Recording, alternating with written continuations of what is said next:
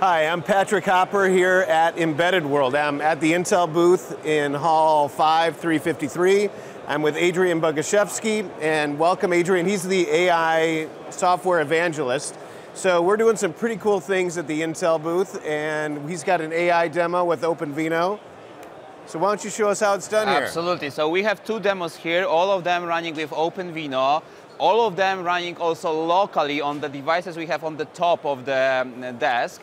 And first one is just simple object detection when we can place this uh, apple, we can track it uh, and count it when it crosses the line. Uh, so this is a pure, let's say, factory industrial uh, solution where we can use uh, that detection to detect, track and count. And uh, it, it's running on this device here, so this is a small box with Intel Core Ultra inside, and we can able to achieve even 75 frames per second.